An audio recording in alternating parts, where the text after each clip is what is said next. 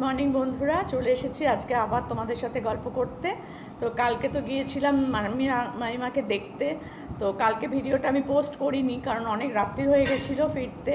তাই জন্য আর পোস্ট করা হয়নি এডিটও করা হয়নি। এসে মানে ক্লান্ত হয়ে গেছিলাম, তার জন্য আর করা হয়নি।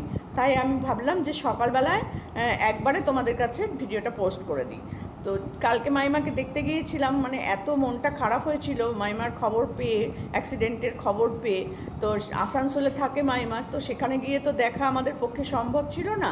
প্রথম কথা করোনা দ্বিতীয় কথা অতটা দূর সে কারণে আমরা তো কেউ যেতে পারিনি।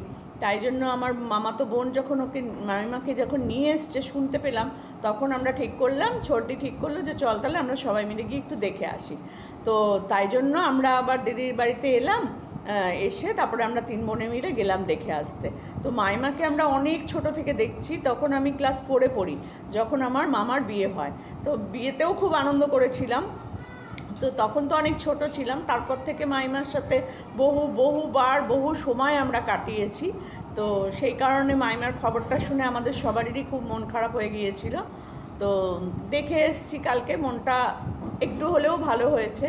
চোখের সামনে দেখলাম, অনেক গল্প করলাম, কারণ অনেক বছর বাদে মাইমার সাথে দেখা হলো, বোনের সাথেও দেখা হলো। বোনের সাথে তাও মাঝখানে তো ছোটো মামার যখন বিয়ে হয় তখন আমরা অনেক ছোট ছিলাম, তো ক্লাস ফোরে পড়তাম, তো অনেকটাই ছোট। খুবই আনন্দ করেছিলাম, তখন আমার বাড়িটা ছিল সিউড়িতে। তারও আগে ছিল আমোদপুরে, কিন্তু আমোদপুরটা আমার অত মনে নেই। সিউড়িটা যতটা মনে আছে, সিউড়িতে আমরা যেতাম, প্রত্যেকবারই প্রায় পুজোর সময় যেতাম। ছুটি থাকতো, ওই সময় যেতাম। সবাই মিলে অনেক আনন্দ করতাম, আর তখন ওখানটা পুরো মাঠ ছিল মানে চাষের জমি ছিল, এত বাড়ি টাড়ি কিছু ছিল না। আর আমরা ভাই বোনেরা মিলে ওই মাঠে চলে যেতাম। খুব বকা খেতাম বাড়ি আসার পরে, মামারা প্রচণ্ড বকতো, কারণ রোদ্দুরে ঘুরে ঘুরে মুখ চোখ সব কালো হয়ে যেত আমাদের। আর টাইমের কোনো ঠিক থাকতো না। ওখানে মানে মাঠ তো, ছোট ছোট মানে জলের জায়গা করা ছিল, সেখানেই স্নান ফান করতাম। ওই বড় পাইপ দিয়ে জল পড়তো, সেগুলোর মধ্যে স্নান টান করে তারপরে একটা গামছা নিয়ে যেতাম। ওই ছোট ছোট নদী মতন থাকতো, ওই নদীতে মাছও ধরতাম। মানে সেই ছোটোবেলাগুলো কিন্তু আমাদের মেয়েরা আর ওইসব কিন্তু কিছু করতে পারে না। ওই দিনগুলোর মানে একটা স্মৃতি আমাদের কাছে কিন্তু ভীষণভাবে মানে থেকে গেছে। ওইভাবে ঘোরা, ওই যে জিনিসগুলো, ওইগুলো এখনকার ছেলেমেয়েরা আর আনন্দ করতে পারে না। তো যাই হোক, আমরা কিন্তু খুব মজা করেছিলাম। আর মামা মানে আমাদের ছোট মামা বিশেষ করে খুব মানে মজার মানুষ ছিল, সবার সাথে সমানভাবেই মিশত। আর হাসি ঠাট্টা গল্প খুব মানে ইয়ে ছিল। হঠাৎ করে মামাও মারা যায় তো করোনাতেই মারা গেছে মামা।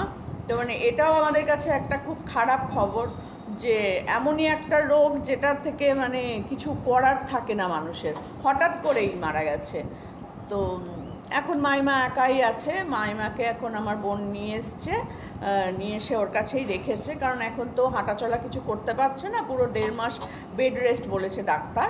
তো এখন ওইগুলো কমপ্লিট করার পর তারপর একটু করে করে আস্তে আস্তে হাঁটাচলা করতে পারবে। এখন শুধু বাথরুমটা যাওয়া ছাড়া আর কোনো কিছুই করতে পারছে না। তো অনেক দিন বাদে দেখে খুব ভালো লাগল, মনটাও খুব ভালো হলো। অনেক ছোটোবেলার গল্প টল্প সব কিছু করা হলো। গুড ইভিনিং বন্ধুরা। চলে এসেছি আজকে আমি বাগুইহাটিতে। তোমাদের বলেছিলাম যে আজকে আমার মাইমার সাথে দেখা করতে যাচ্ছি। আর মা, মামা তো বোনের বাড়িতে এসছি বাগুইহাটিতে। আমি এসছি বড়দি এসছে ছোটদি এসছে। এখন তো আমি ওদের সাথেই আছি। তাই সবসময় ওদের সাথেই ঘুরে ঘুরে বেড়াচ্ছি। তো এখন মাইমা বসে আছে সামনে। চলো মাইমাকে তোমাদের সাথে একটু পরিচয় করিয়ে দিই। মাইমা আর মামা তো বোনের সাথে তোমাদের পরিচয় করিয়ে দিই। হ্যাঁ এই যে আমার মাইমা, আমার ছোট মাইমা। হ্যাঁ। আর এই হচ্ছে আমার মামার বড় মেয়ে। এই হচ্ছে মন্টু। তো মাইমা তুমি বলো তোমার কি হয়েছিল পায়ে? হ্যাঁ বাবা পড়ে গেছি। পড়ে গিয়ে কোমরে খুব চোট লেগেছে।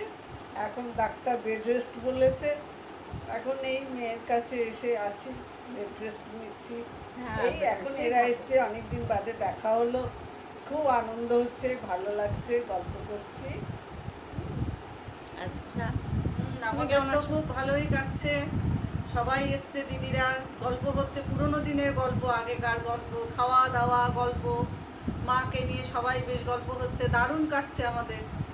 সেটাই। তুমি কিছু বলো? আমি ছোট মামিমাকে দেখতে এসেছি বোনের কাছে বোনের বাড়িতে। খুব ভালো লাগছে। অনেক দিন পর ছোট মামিকে দেখলাম বোনকে দেখলাম। ভীষণ ভালো লাগছে। যদিও একটু কষ্ট আছে মামির পা মামি ভেঙে মানে কোমরে খুব ব্যথা সেই জন্য একটু কষ্ট হচ্ছে নাহলে নিয়েই চলে যেতাম। কিন্তু নিয়ে যেতে পারছি না সুস্থ হলে নিয়ে হ্যাঁ আমার বোনের বোনের ফ্ল্যাটটা তোমাদেরকে একটু ঘুরিয়ে দেখিয়ে দিচ্ছি।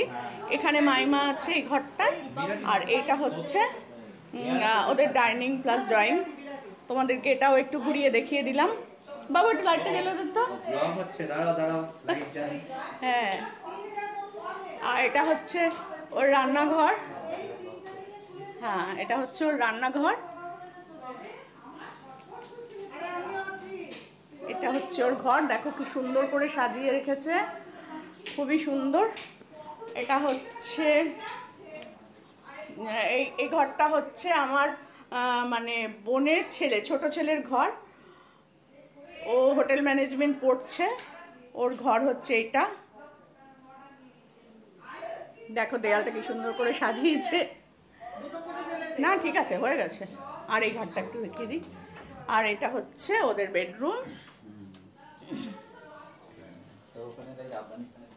আর এটা হচ্ছে ওদের বাইরের বারান্দাটা, ব্যালকনিটা। সব টুনি দিয়ে সাজিয়েছে।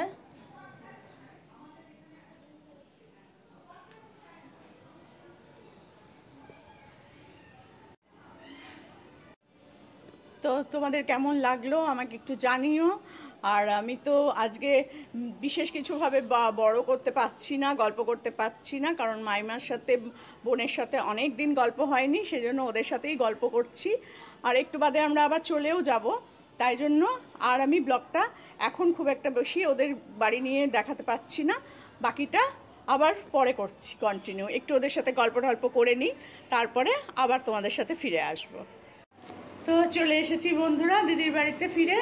আহ, বাগুইহাটি থেকে ফিরে চলে এলাম। আর মানে ওলাতে এসছি কিন্তু ভীষণ রাস্তাটা মাঝে মধ্যে এত এত খারাপ।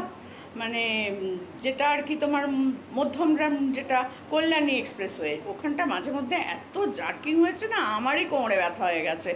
মানে কোমরে ব্যথা পেশেন্টকে দেখতে গিয়ে ফেরার পথে আমারই কোমরে ব্যথা হয়ে গেছে। কি আর করব বলো? যাই হোক এখন আমরা দিদির বাড়িতে চলে এসেছি। আগে একটু সুন্দর করে একটু চা খাব। চা ফা খেয়ে নিয়ে তারপরে বসবো একটু। এই যা হোক বাড়ির গল্প টল্প করব একটু। তো আজকে ব্লগটা আমি আর বেশি বড় বড় করলাম না। এখানেই শেষ করে দিচ্ছি। তোমরা দেখো কেমন লাগল আমাকে জানিও। আর সাবস্ক্রাইব করতে লাইক কমেন্ট করতে এটা কিন্তু কেউ ভুলবে না। এটা তো তোমাদের জানা কথাই। এটা আমরা সবাই সবাইকে বলি। তো আমরা আমি যেমন ভুলবো না, তোমরাও কিন্তু সেরকম ভুলবে না। প্লিজ, দেখো তো চুলটা সেই স্ট্রেট করেছিলাম এখনও কি ভালো লাগছে? চুলটা? বাবা জট পড়ে গেছে গো। স্ট্রেট করায়নি একটু স্পা করেছিলাম আমি। তো ঠিক আছে না চুলটা? হ্যাঁ ঠিক আছে, মোটামুটি। আর আজকে আমার সাজটা কেমন হলো সেটাও কিন্তু জানিও। আমি তো সাজি না, তো হঠাৎ হঠাৎ করে সাজলে নিজেরই কেমন যেন একটু ভয় ভয় লাগে। তো তোমরা জানিও কেমন লাগছে। এই হাটটা আমি শান্তিনিকেতন থেকে কিনেছিলাম। সোনাঝুরির হাট থেকে এই- হাটটা কিনেছিলাম। তো আজকে পরে গেলাম, দিদিরা বলল, পর পর। তো আমি নিয়ে ব্যাগের মধ্যেই ছিল। আর এই ব্যাগটাতেই আমি করেই আমি নিয়ে চলে এসেছিলাম হাটটা ওখান থেকে। তো ওইখানে এসে দেখছি ব্যাগের মধ্যে হাটটা রয়েছে। তো দিদিরা বলল, পর, পরে নে। গলাটা খালি খালি লাগছে, পরে নে। তো পরে নিলাম। তো কেমন লাগছে সেটা একটু জানিও। আর আমি তো বিশেষ একটা সাজি না, তো সাজলে কেমন লাগে সেটাও আমি নিজে বুঝতে পারি না। তো তোমরা যদি একটু বলো যে ভালো লাগছে, তাহলে আমি একটু একটু করে সাজবো এবার থেকে। সাজলে না আমি নিজেকে ভাবতাম কি বাবা, কেমন যেন লাগছে। আর সবাই বোধহয় আমার দিকে তাকিয়ে আছে। ওই ভয়ে কোনো দিন আমি সাজতাম না। একটু লিপস্টিকটা লাগাতাম, ব্যাস। এর বাইরে কোনো কিছুই আমি কখনো করতাম না। তো এখন একটু পড়েছি। কেমন লাগছে তোমরা জানিও।